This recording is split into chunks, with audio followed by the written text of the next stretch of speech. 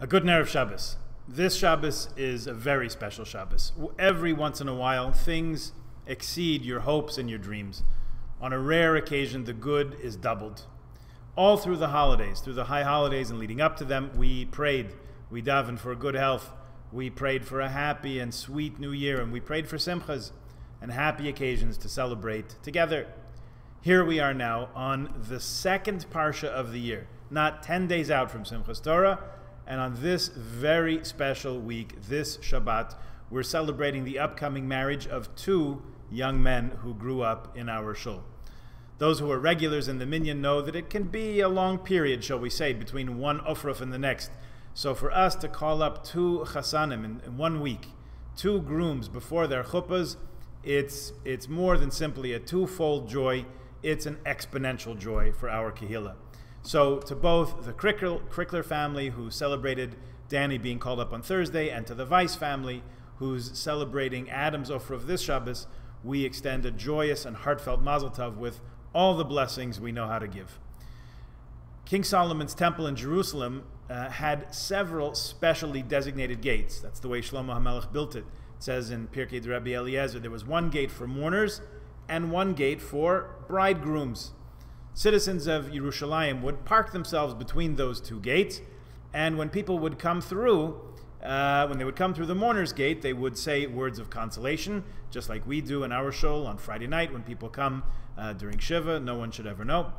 The next gate was for chasanim, for bridegrooms. So when a chatan passed through that gate, people would shout out blessings. They would say, Hashochen bavayis hazeh yisamechecha bevanim uvanis which means the one may the one who dwells in this house in the temple gladden you with sons and daughters. And it says they would throw sweets at them as tangible expressions of the good wishes and blessings. So you can see that the origins of our custom of honoring the groom and blessing the couple before the wedding run very deep in our history like about 3000 years old some historians connect the announcement of upcoming weddings in Shul with some legal requirements in medieval France and Germany. In other words, to clarify that bride and, brides and grooms weren't already married to someone else. But we know the do, truest and deepest meaning of an ofruf, and that's why we give precedence, really before all others, to a groom the week before the chuppah. The, because the basis of the Jewish people surviving and thriving over those millennia, those thousands of years, is family, not federations, sorry, or shuls, sorry, or even rabbis, sorry. The basis for the Jewish people's survival and thriving over thousands of years is marriage. The covenant of marriage between two partners, which, by the way, is reflected in a marriage type of covenant between us and God. The Jewish family is the essence and the basis for Jewish life, Jewish community, of the chain of tradition handed down from one generation to the next. We have Jewish communities, we have shuls, we have kehillas, we have great centers of Jewish learning and Jewish life because these were and are built by gatherings of Jewish families. The covenant, the bond of marriage in Judaism is total and complete, it's absolute, all encompassing, gets us through thick and thin, through good times and challenges, through all sorts of changes in the world around us. When a chassan and a kala, a bride and groom, stand together under a chuppah, signifying the home that they will build together in accordance with Jewish law and custom, that covenant is intended for life. And although we don't say all that fancy, richer, and poorer stuff, we mean it all. And it's all said in one simple sentence that encompasses everything. You are made holy to me with this ring according to the laws of Moses and Israel. Those who know what goes into Jewish law, Jewish history, and Jewish life know how much word, how much weight those words carry. So for us, an ofruf is a big deal. Ofruf is the Yiddish word for calling up. By the way, this is not a sign of the patriarchy for those who are curious. The bride has her own party on Shabbat called a Shabbat Kala, Shabbos Kala. Now, out of respect for the way things are in the world, nobody throws anything at her, not even candy. Uh, but there, apparently there is plenty to eat at a Shabbos Kala party, or so I'm led to believe. And just to highlight the point, in the Sephardic world, where they don't use Yiddish so much, rather than Ofruf, they call it Shabbat Chatan.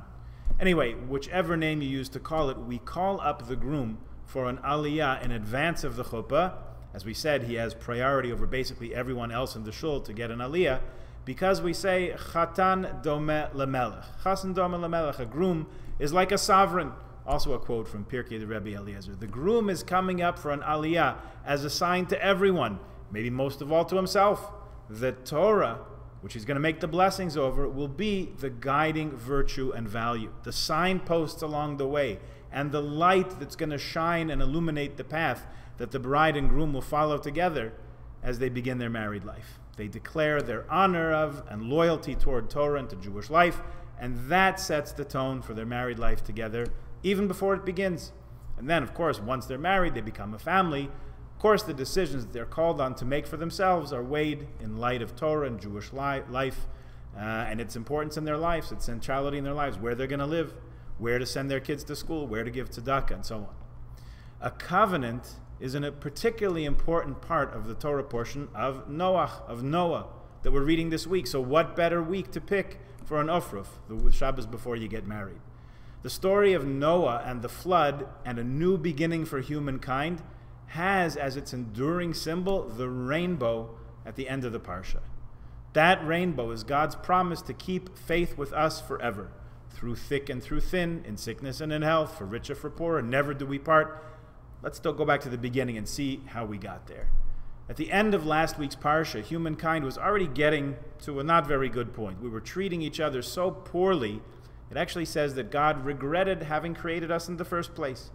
The Midrashim go into great depth uh, and detail into how badly we treated each other dishonesty, we lied, we cheated, we stole, took any opportunity we could to disregard the humanity, the dignity of another it says Noah was righteous in his generation, which the commentaries say is really sort of faint praise. He was righteous compared to everyone else in those days, which really isn't saying that much. Others sing his praises, by the way. So God says to Noah that I'm going to wipe the slate clean, and humankind's going to begin anew with you, with you, Noah, and your family. Noah builds the ark, takes his family, brings the animals into it where they're going to remain in lockdown with each other, only with each other, no Wi Fi, no Netflix, no Zoom, just each other for a year. Think about that. Parents, children, spouses, let your imaginations run wild with what that was like. You know how it goes. The rain falls for 40 days and 40 nights. As we know, the mystics say this was like a mikveh. A mikveh has 40 sa'ah of rainwater in it. Sa'ah is a liquid measure. So the 40 days parallel to these 40 units, 40 uh, liquid units uh, of a mikveh, suggesting that the flood of those times was less a punishment than more a cleansing and a purifying of the world, because that's what mikveh accomplishes. Now, it takes many months for the earth to dry out, right? The dove flying out, coming back with the olive branch. Remember that part of the story? So we're going to read how after a year, it says in the fifth aliyah, God shows Noah the sign of the covenant. God says, This is the sign of the covenant that I am giving between me and you and every living creature for everlasting generations. As kashti nasati ba'anan, I have placed my keshes, my keshet, my rainbow in the clouds. Fun fact, keshet, the rainbow, is also the initials for Kehilat Sha'arei Torah. Keep that one in your back pocket. So it continues, La'ois bris veini uvein ha'aretz. This will be the sign of the covenant between me and the world, says God. So the rainbow is a symbol that God remembers the covenant and always will allow us to continue. In fact, when we see a rainbow, we're supposed to think of this incident in human history and recall that no matter how low humanity sinks, and there have been some low spots, God promised never to send another flood, as happened then. We even have a bracha to say when we see a rainbow. Baruch Hashem Elokeinu melech. Blessed are you, God, sovereign of the universe. Zocher habris. You remember that covenant. V'ne'eman bevrisoi. You are faithful in your promise. V'kayam b'ma'amara. You keep your word. This is the idea of a covenant, which is symbolized by this rainbow, and it's affirmed by all the people you'll see in Shul sporting bow ties this Shabbos. I should have worn a bow tie. You can't really tell what kind of tie I'm wearing at all, but whatever. Should have thought of it. Uh, a covenant means that you agree to stay together through thick and thin. Sometimes things are good. And in those times, who needs a covenant? Everything's great, everything's going well, everyone's happy. As in the story of the flood, there are always some clouds now and again. May not be a storm, it may not be clouds, but it definitely, shall we say, gets overcast every so often. That's why we have a covenant, so that when it gets dark and it's hard to see the sun, we remember that God's word is with us, and we gave our word to God, and we always stay together. This resonates in the interpersonal realm with the covenant of marriage, and the covenant of marriage, in turn, reflects in this relationship. We can look at relationships, uh, both with other people and with God, and say, well, what am I getting out of the deal? Which unfortunately is the way many people view relationships in our days. In that very reductionist view, it almost seems like a person can never be happy or satisfied because you can always say, well, they should be doing more for me, or what have they done for me lately? That's one perspective on relationships, not the only one, may not even be the best one. Another one, another perspective, in contrast, might be not what am I getting, but what can I give? What can I offer? What can I do to add, to build, to deepen this relationship? If that's our attitude, then we always have something to do. There's always something to offer, always something to give, to contribute. A smile, a kind word, a, a, a generous gesture. And then every situation has the potential for growth and strengthening the relationship. Our bracha for a chassan and kala, for a bride and groom, for Adam and Talia, for Danny and Rachel, is may you build a bayit ne'aman Yisrael, a faithful and everlasting home amongst the Jewish people. We all want to make the most of our lives when we enter into the covenant of marriage. That we say, I commit with all my heart, with all my soul, always to be there, always to be contributing, supportive, and faithful. That's how we build our own share of the Jewish people. We start a new Jewish family, we start a new Jewish home. Contained in the blessing is a blessing for good health, for success, which means success in the material sense. There should always be enough money and then some to pay the bills, for day school tuition, good food for Shabbos, and also spiritual success, spiritual plenty. Marriage doesn't mean you stop learning and growing as a Jew and a person. Adarabba, it's a whole new arena of growth and opportunity, and hopefully the blessing of children, future generations, as they used to say in the temple thousands of years ago, may the one who dwells in this house gladden you with sons and daughters. B'bayis. Notice that we don't have to change a single word for the bracha to work in our days. When we build a Jewish home together, we hope and we pray that the blessings of children and tradition and Torah and learning and the future of the Jewish people brings all that together with it.